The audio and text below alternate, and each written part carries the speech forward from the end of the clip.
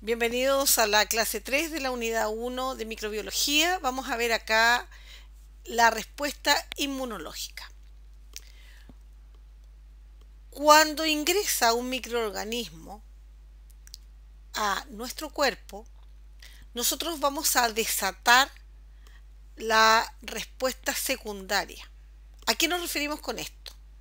Lo primero que va a pasar va a ser que ante la presencia de un antígeno va a salir un monocito desde el torrente sanguíneo y se va a convertir en macrófago. Este va a contactarse con este antígeno y va a extraer la información suficiente para que el linfocito T y el linfocito B sean capaces después de desatar la respuesta inmunológica. ¿En qué consiste? Consiste en que el linfocito B se convierte en una célula plasmática y va a ser capaz de formar anticuerpos, IgG o IgM. IgG que van a ser de memoria, IgM que van a ser de una respuesta más inmediata. Y son estos anticuerpos los que van a atacar al microorganismo porque van a reconocer el antígeno. También vamos a tener una respuesta celular que va a estar dado por los linfocitos T que se van a transformar en linfocitos T killer. ¿Cuál va a ser la función principal de ellos? Va a ser atacar directamente a la célula que tiene microorganismos en su interior o células que han sido capaces de transformarse. Por lo tanto, aquí vamos a tener esta respuesta celular. ¿Qué mecanismo de resistencia nos ofrecen las bacterias? Bueno, lo primero que tenemos que ver es que las bacterias son capaces, algunas de ellas del género Bacillus o del género Clostridium, van a ser capaces de transformarse en esporas. ¿Qué significa esto que se transformen en esporas? Significa que en un sector de la bacteria se va a alojar el ADN, el ARN, y el resto se va a transformar en una cápsula protectora fibrosa que va a ser resistente a las altas temperaturas, a los pH extremos, etc.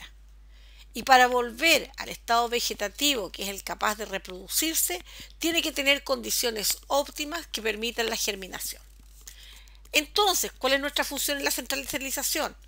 Si es que de un paciente A pudimos obtener bacterias que se transformaron en esporas y estas las tenemos en nuestro instrumental, debemos ser capaces de garantizar con nuestro sistema de esterilización que las vamos a eliminar para que cuando ese mismo instrumental se ocupe en un paciente B no tenga esporas en su interior que sean capaces de germinar cuando se esté operando el paciente en contacto con la sangre, en contacto con los órganos vitales. ¿Cuáles son las bacterias de importancia médica que pueden presentar esporulación? Tenemos el Bacillus anthracis, tenemos el Bacillus cereus, que provoca gastroenteritis, tenemos el Clostridium tetani, que va a producir tétano, ¿no es cierto? Tenemos el Clostridium botulinum, tenemos el Clostridium perfect, tenemos el Clostridium difficile que tantos problemas nos da en forma habitual y cuyas esporas tenemos que eliminar en las superficies donde haya tenido contacto, ya sea el material donde eh, se trabaje o las personas, ¿no es cierto? Debemos eliminarlo con cloro en 5000 partes por millón. Ahora, ¿cómo se traspasan la información las bacterias? Bueno, a través de las generaciones, por supuesto, por la bipartición.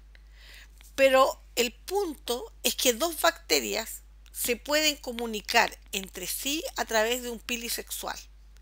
Y el pili sexual va a servir para que el plásmido, que es quien contiene información genética especial de resistencia, se divida en dos y pase de la célula dadora a la célula receptora, de la bacteria dadora a la bacteria receptora. y por lo tanto vamos a tener ya dos bacterias que van a, van a poseer la misma resistencia. En cuanto al biofilm, el biofilm es un gran problema que tenemos.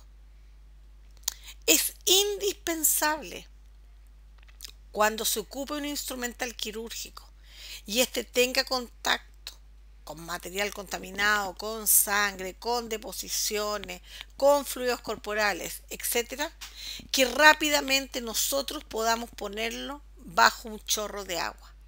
Y esto cobra especial énfasis en el caso de los endoscopios. Los endoscopios después de ser usados debe hacerse una aspiración al pie del paciente con detergente, con agua y con aire para evitar que haya una adhesión de microorganismos. Cuando yo hablo de un biofilm, un biofilm es una agrupación de diferentes microorganismos, de diferentes especies, que son capaces de formar una capa de un glucopolisacárido que va a ser altamente resistente a la temperatura, a los métodos de desinfección, inclusive al lavado. ¿Qué es lo que nos pasa? ¿Cuándo el biofilm lo podemos extraer? Cuando estamos en la etapa de adhesión. Pero ya cuando empezamos en la etapa de agregación, que puede ser inclusive hasta 20 minutos después, o sea, tan solo 20 minutos basta para que se empiece a producir esta agregación, para luego convertirse en una maduración y posteriormente en una disgregación, esa parte es irreversible. Por tanto, todas las personas involucradas en el proceso de esterilización, que es, empieza, ¿no es cierto?, desde que ya el paciente, mientras el paciente está usando el instrumental estéril, ya está partiendo nuestro nuevo proceso de esterilización. Es fundamental que mantengamos en el pabellón, que mantengamos en la sala de procedimiento, que mantengamos cuando hacemos una curación el instrumental limpio, con agua destilada mientras nosotros lo vamos ocupando. Ahora lo terminamos de ocupar y tenemos que pasarlo o bajo el chorro del agua o como les comentaba, en el caso de los endoscopios, hacer una aspiración con detergente, luego con agua y luego con aire.